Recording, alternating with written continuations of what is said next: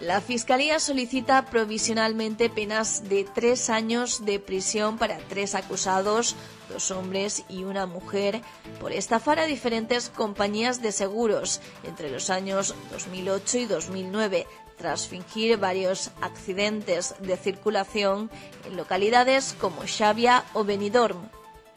El Ministerio Público considera que los hechos constituyen delitos de simulación de delito y estafa continuada.